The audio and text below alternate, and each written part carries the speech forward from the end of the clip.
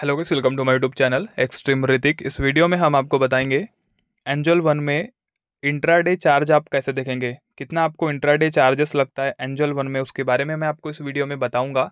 Video start करने से पहले आप लोग हमारे यूट्यूब चैनल को सब्सक्राइब कर लीजिएगा बिल्कुल को प्रेस कर लीजिएगा। ओके अगर आपने एंजल वन में अभी तक अपना अकाउंट ओपन नहीं किया होगा तो लिंक मैं आपको डिस्क्रिप्शन में दे दूँगा। अगर आप डिस्क्रिप्शन के लिंक का यूज़ करके अपना अकाउंट ओपन करेंगे तो आपको फाइव हंड्रेड की जगह वन थाउज़ेंड रुपीज़ बोनस मिलेगा। ओके अब जैसे आप लोग एंजल वन अकाउंट अपना ओपन करेंगे, आप इस टाइप का इंटरफेस देख पाएँगे। मैं आपको अपने चार्जेस के बारे में बता देता हूँ।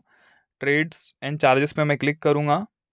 अब यहाँ पे मैं लास्ट सिक्स मंथ का देख लेता हूँ अप्लाई पे मैं क्लिक करूँगा।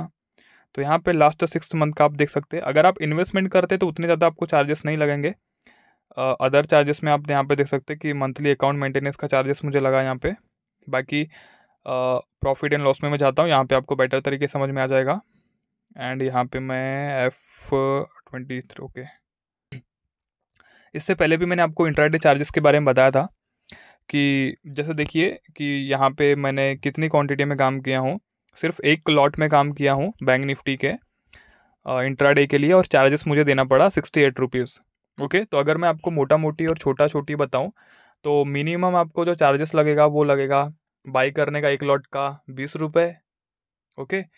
और मैक्सिमम आपको उसी में पचास से साठ से सत्तर रुपये लग सकता है। मिनिमम आपको बीस रुपये लगेगा और मैक्सिमम आपको पर लॉट को सत्तर रुपये चार्जेस लग सकता है, ओके?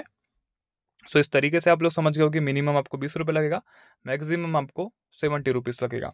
सो टॉपिक इस कवर मिलते हैं नेक्स्ट वीडियो में। जय माता दी।